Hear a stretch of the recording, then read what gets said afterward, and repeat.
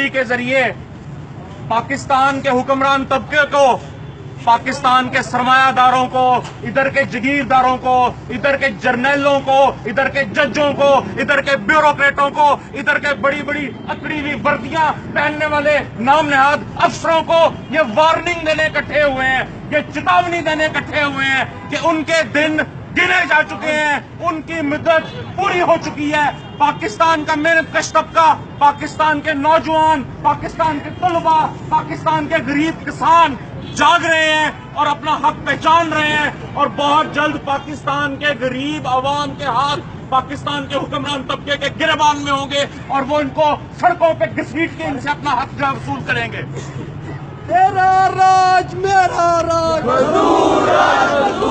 آئی N F تیرا راج میرا راج I M F World Bank کے اشاروں کے اوپر پاکستان کے حکمران طبقے نے باسٹھ اداروں کی لسٹ تیار کی ہے، جن کو وہ اونے پونے دانموں باہر کے سرمایہ داروں اور پاکستان کے اندر جو ان کے ٹوٹی سرمایہ دار ہیں، ان کے ہاتھوں اونے پونے داموں جو ہے وہ بیچنا چاہتے ہیں۔ ان اداروں کے اندر سرکاری ہسپتال بھی ہیں جہاں پہ غریبوں کا مفت علاج ہوتا ہے۔ ان اداروں کے اندر ایسے سرکاری کالج، یونیورسٹیاں بھی ہیں جہاں پہ غریب کا بچہ پڑھنے جاتا ہے۔ ان اداروں کے اندر پی آئی اے جیسے وابڈا جیسے، ریلوے جیسے عوامی ادارے بھی موجود ہیں۔ ہم حکمرانوں کو یہ وارننگ دینا چاہتے ہیں کہ یہ ادارے تمہارے باپ کی جگیر نہیں ہے تمہارے خاندان کی وراثت نہیں ہے تمہارے خاندان کی ملکیت نہیں ہے یہ تمہارے باپ کے پیسوں سے نہیں بنے تھے، یہ پاکستان کے عوام کے ادارے ہیں۔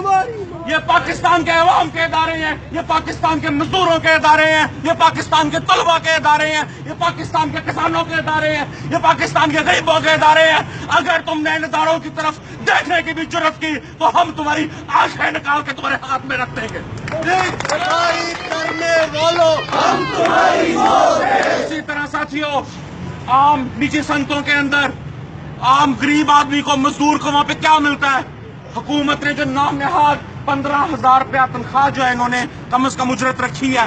میں سوال پوچھتا ہوں کہ کیا یہ نواز شریف، کیا زرداری، کیا عمران خان، کیا جہانگیر ترین، کیا الطاف حسین، کیا یہ جتنے قوم پرست کے آتے ہیں، کیا یہ سارے لوگ، کیا یہ جماعت اسلامی کے ملا لیڈر، کیا یہ جرنیل، کیا یہ جج، کیا یہ بڑے بڑے پولیس افسر، کیا یہ سارے الو کے پٹھے؟ پندرہ ہزار روپے میں اپنا گزارا کر سکتے ہیں مہینے کا۔ کر سکتے ہیں کیا نہیں کر سکتے۔ یہ مزدور کو کیوں کہتے ہیں کہ وہ پندرہ ہزار کے اندر گزارا کرے؟ حالانکہ یہ مزدور ہے جو کہ بجلی بناتا ہے، ریلوے چلاتا ہے، سڑکیں بناتا ہے، ان شہروں کو آباد کرتا ہے، اس پورے سماج کو چلاتا ہے۔ یہ ظلم نہیں، زیادتی نہیں، تو اور کیا ہے؟ اس کے خلاف پاکستان کا پورا محنت کش طبقہ اکٹھا ہو رہا ہے۔ ہم کر رہے ہیں اس کو اکٹھا۔ ایک فیکٹری کا پیغام دوسری فیکٹری میں لے کر جائیں گے۔ ایک ادارے کا پیغام دوسرے ادارے کے اندر لے کر جائیں گے۔ ایک شہر کی بغاوت کا پیغام دوسرے شہر کی بغاوت کے اندر جو لے کر جائیں گے۔ طلبا کو آپس میں جوڑیں گے مزدوروں کو جوڑیں گے کسانوں کو جوڑیں گے۔ ساتھیوں میں یہاں پہ اظہار یکجہتی بھی کرنا چاہتا ہوں۔ کراچی میں تھل انجینئرنگ کے محنت کشوں کے ساتھ جنہوں نے پاکستان کے ایک بہت بڑے سرمایہ دار گروپ ہاؤس آف حدید کے خلاف ایک انتہائی جرت مندانہ جو جد و جہد کی۔ اس جد و جہد کرنے کے پداش میں انہوں نے چونتیس مزدوروں کا برطرف بھی کیا۔ مگر وہ مزدور شیروں کی طرح اپنے حق کے لیے لڑ رہے ہیں۔ ہم نے پہلے بھی پورے پاکستان میں ان کے حق کے لیے مظاہرے کیے ہیں اور آئندہ بھی ان کے حق کے لیے مظاہرے کریں گے۔ اور میں یہاں پہ بلوچستان کے محنت کشوں کو سرخ سلام، لال سلام پیش کرنا چاہتا ہوں۔ جہاں پہ پی ڈبلیو ڈی بلوچستان کے محنت کش ایک سو دن سے زائد بھوک ہڑتالی کیمپ لگا کے بیٹھے ہوئے ہیں اور اپنے حقوق کے لیے جد و جہد کر رہے ہیں۔ ہم وعدہ کرتے ہیں کہ پی ڈبلیو ڈی بلوچستان کے محنت کشوں کی حق کی آواز کو پورے پاکستان، پورے خطے پوری دنیا تک جو ہے پہنچائیں گے۔ ساتھیوں آخر میں صرف ایک بات کہوں گا۔ آگے بڑھنے کا واحد رستہ صرف اور صرف سوشلسٹ انقلاب ہے۔ پورے پاکستان میں پچھلے دس سال میں آپ دیکھیں، طلبہ نے، کسانوں نے، مختلف اداروں اور سنتوں کے محنت کشوں نے علیحدہ علیحدہ ایک دوسرے سے کٹ کٹ کے اپنی علیحدہ علیحدہ بہت ساری جد و جہدیں اور لڑائیاں لڑ کے دیکھی ہیں، مگر اس کا نتیجہ کچھ نہیں نکل سکا۔ ضرورت ہے ایک ایک کی یکجان ہو جانے کی یک مشک ہو جانے کی۔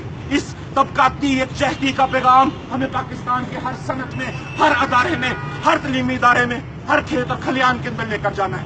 ہم تیاری کریں گے، پاکستان کے محنت طبقے تک پیغام لے کر جائیں گے۔ اکٹھے ہو یک جان ہو یک یکمشت ہو، حکمرانوں کے گربانوں پہ ہاتھ ڈال لو چھین لو ان سے وہ سب کچھ جو تمہاری محنت کی پیداوار ہے۔ چھین لو ان سے وہ سب کچھ جو کہ تمہارا حق ہے، تمہارے بچوں کا جو ہے وہ حق ہے۔ اور اس گھٹیا سرمایہ دارانہ نظام اور اس سرمایہ دارانہ ریاست کے جبر کا خاتمہ کرتے ہوئے ایک سوشلسٹ سماج جو ہے وہ قائم کرو، ایک ایسا سوشلسٹ سماج جو کہ روٹی، کپڑا، مکان تعلیم علاج روزگار کی ہر شخص کو گارنٹی دے گا۔